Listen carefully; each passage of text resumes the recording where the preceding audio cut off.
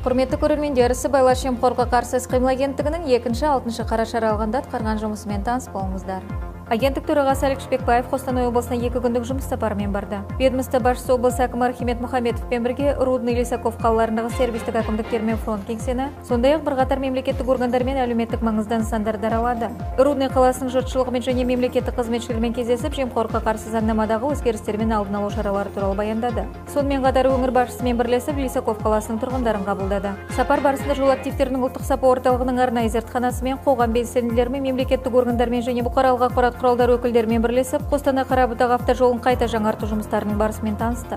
Агенттік төрағасы қостанай облысына жұмыс сапары аясында ск фармацияның операциялық қоймасына барып азаматтарды дәрілік препараттармен қамтамасыз ету шараларымен танысты. Дәрі дәрмектің әр азаматқа нақты жету керектігін баса айтқан алик шпекбаев облыстың материалдық қор есебіне сатып алынған дәрі дәрмектерді сататын цветная дәріхана желісін аралап көрді.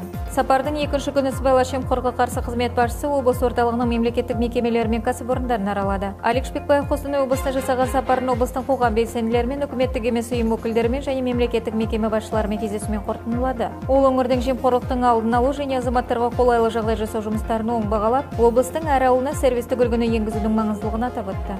Халық үніне құлақ асатын мемлекет қағидатына сәйкес агенттік төрағасы нұр сұлтан қаласы мен батыс қазақстан облысының тұрғындарын онлайн режимде қабылдап олардың шағымдары бойынша тиісті тапсырмалар берді. Ашық диалог интернет порталында агенттік төрағасының орынбасары дмитрий малаховтың қатысуымен интернет конференция өтті. Павлодар облысының әкімі әбілқайыр ысқақовтың төрағалығымен сыбайлас жемқорлыққа қарсы іс қимыл жөніндегі облыстық комиссия отырысы өтті. Онда ауыл шаруашылығы саласындағы жемқорлықтың алдын алу және ертіс адалдық алаңының қызметі талқыланып оның қорытындысы бойынша әкім бірқатар тапсырмалар берді.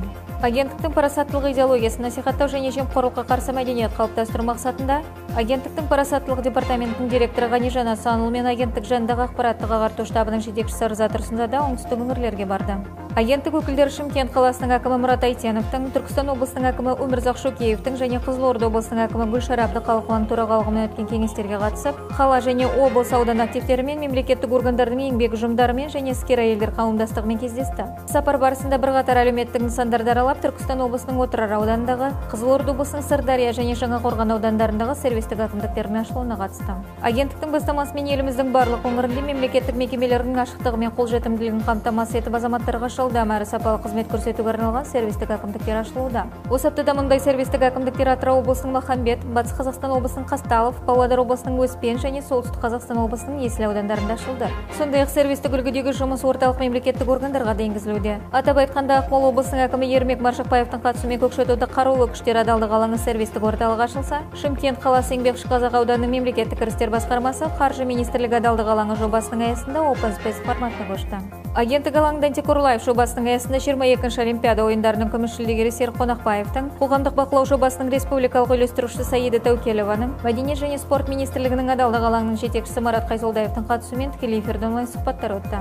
Жалпы барлық аумақтық департаменттерде 138 сыртқы сарапшы спикер мен түрлі сала өкілдерінің қатысуымен 154 тікелей эфир өтті. Сондай ақ антикорнеу жобасының аясында агенттіктің жауапты қызметкерлері мен республикалық арнайы мониторинг топ жетекшісінің орынбасары зәуреш батталованың қазақ ұлттық университеті өкілдерінің қатысуымен сыбайлас жемқорлыққа қарсы ғылыми сараптаманың басталуы туралы онлайн брифинг өтті. Агенттіктің тегін құқықтық көмек беретін адал көмек жобасының аясында аумақтық антикор орталықтарында 350-ге жуық тікелей эфир өткізіліп 183 мыңға жуық адам қамтылды.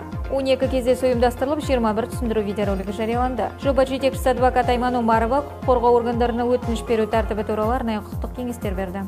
Егер сіздерге сыбайлас жемқорлық фактілері туралы белгілі болса агенттіктің 1424 байланыс орталығына хабарласуыңызды сұраймыз. Құрметті көрермендер сіздер агенттіктің және оның аумақтық департаменттерінің екінші алтыншы қараша аралығында атқарған жұмысымен таныс болдыңыздар. Арнайы жаңалықтар топтамасы экранда көрсетілген агенттіктің ресми сайтында және әлеуметтік желілерінде жарияланатын болады назарларыңызға рахмет. Жағым жаңалықтармен жүздесейік.